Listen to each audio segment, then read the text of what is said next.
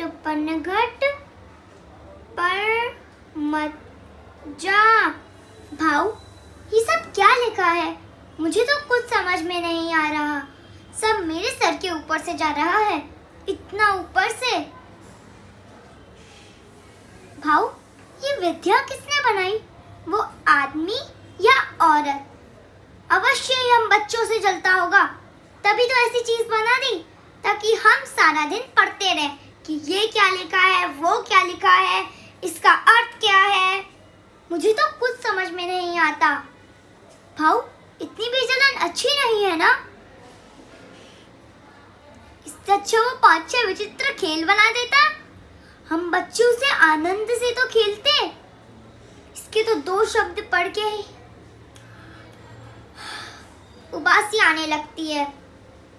अगर ये नहीं छह पकवान बना देता। हम बच्चे उसे चाव से तो खाते। यहाँ आई रोज हल्दी वाला दूध ले आती हैं। वो तो आपको और गोमा जी को देखकर पी लेती हूँ। वरना मैं तो कभी ना पीऊं।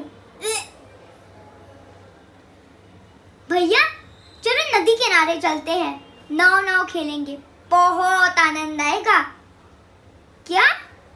आई? अब आई की चिंता मत करो। मैं उसे झटपट आज्ञा ले आऊँगी। छोटी होने का थोड़ा तो